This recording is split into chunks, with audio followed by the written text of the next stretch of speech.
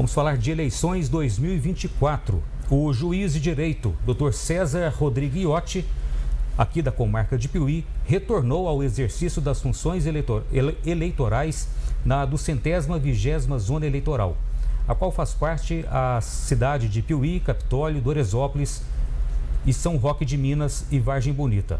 Ao todo, são 44 mil e 672 eleitores que irão às urnas em outubro. Bem, nesta terça-feira, doutor César Iotti e a Anélia Mota, chefe do cartório eleitoral daqui de Piuí, eles concederam uma entrevista coletiva de imprensa.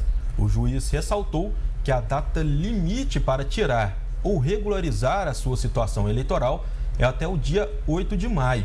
Para isso, o cartório estará de plantão, inclusive aos sábados e domingos é 8 de maio, gente, isso é muito importante, que tem que regularizar os títulos, regularizar e tirar. Quem quer votar mesmo que 16, 17, 18 anos não ter o título, é agora que tem que tirar, até 8 de maio. O que acontece muito no dia da eleição, no dia da eleição, a pessoa chega lá, não consegue votar porque o nome dela não está lá, porque teve um problema de na justiça estadual foi condenado, não comunicou aqui, a pessoa não foi atrás, chega lá, o nome dela tá riscado, isso dá maior bafafá no dia, hein? Final de semana vai ter plantão, sábado, domingo, das 8 às 18.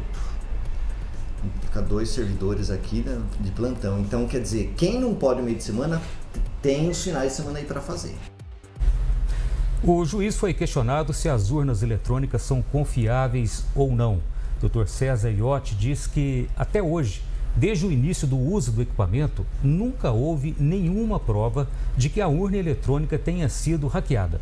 O juiz ressaltou ainda que, quando o voto era no papel, as chances de fraude eram maiores. Se tivesse fraude aqui no cartório, não bateria com os boletins de urna. Não bateria com os boletins de urna. Uh, não bateria o que está no TSE e não tem comunicação com nós. Né? Aí tem aquilo de uh, não é ligado na internet, os, os, hackers que supostamente conseguiram, já foi comprovado que era tudo mentira, foram processados né, criminalmente pela lançar essa mentira de que tinham conseguido invadir urna. Então, até hoje, não houve. Bem, Nélia Mota, chefe do cartório eleitoral daqui de Piuí, explicou que as urnas eletrônicas elas possuem diversas barreiras de proteção e que nunca nenhum voto foi alterado. Às vezes saem notícias, ah, tal, tal hacker conseguiu quebrar essa, essa barreira de segurança. Mas nós temos, não é uma, uma barreira, barreira, de segurança, é, não, é. gente. São inúmeras barreiras. É. Ele quebrou, nós achamos onde ele quebrou, mas ele não conseguiu. Até hoje não há notícia de que alguém tenha conseguido mudar um voto que seja. Então, quebrou uma barreira? A hora que ele quebra, vem toda aquela. A, as outras contra as outras medidas para aquilo, né? O juiz César Iotti falou que para essa eleição não é obrigatório o cadastro biométrico, ou seja, se sua situação eleitoral estiver regular, mas você ainda não cadastrou sua biometria na base de dados do governo, você vai votar tranquilamente. Estamos sendo vinculados. Um eh, matérias, né, que a biometria está sendo obrigatória. Mas os títulos novos já estão sendo com biometria, beleza. Mas eu tenho meu título que é velho. Eu tenho que vir ao cartório para regularizar meu título? Não precisa, ele está, vai valer do mesmo jeito. Vai valer do mesmo. Por enquanto, está valendo do mesmo jeito.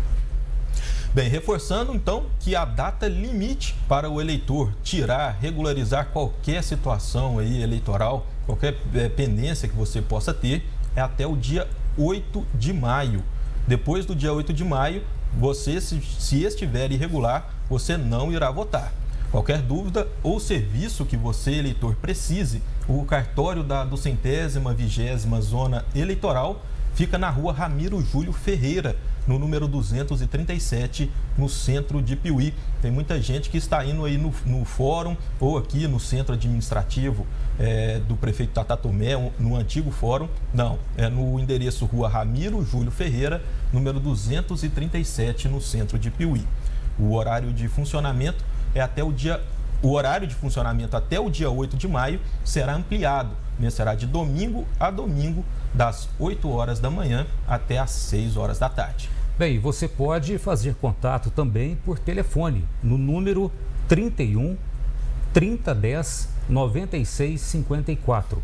31 3010 9654 para falar diretamente no cartório eleitoral ou pelo número 148 no Disque Eleitor, que funciona de segunda a sexta-feira, das 7 horas da manhã até às 7 horas da noite, ao custo de uma ligação local.